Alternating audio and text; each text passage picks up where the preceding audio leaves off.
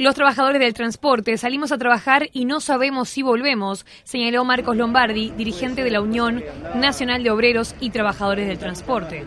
Hoy por hoy, los taximetristas son, dentro del sector, los más afectados y el cerro, el lugar donde más ilícitos se registran, entre 6 y 7 por día. Por eso, el sábado, realizarán una reunión con los vecinos. El gobierno, en definitiva, va a tener que buscar algún mecanismo para solucionar estos hechos que además no afectan solo a los trabajadores del transporte, sino a toda la ciudadanía.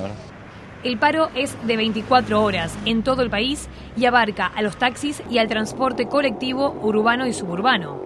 El nivel de acatamiento a nivel sindical es el 100%. Nosotros sabemos que hay empresas que ponen servicios que le llaman de emergencia, entre comillas, pero este, no está dentro de los parámetros de medición de nuestro gremio.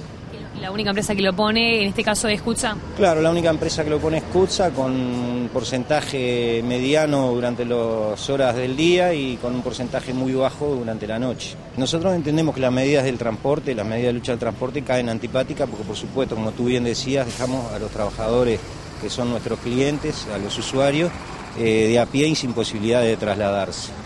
Eh, pero reivindicamos el paro como una medida de lucha este, constitucional, eh, pero además este, que, está enmarcada eh, en una temática de tratar de poner la problemática en la calle. El sindicato del taxi lamenta la muerte de Norberto Froufe, que es la segunda del año, y exige medidas. Volver a pedir una entrevista para plantearle nuevamente esta situación en tanto y en cuanto nosotros consideramos que hay departamentos de nuestro país en el cual consideramos que es urgente se instale la mampara como mecanismo de seguridad.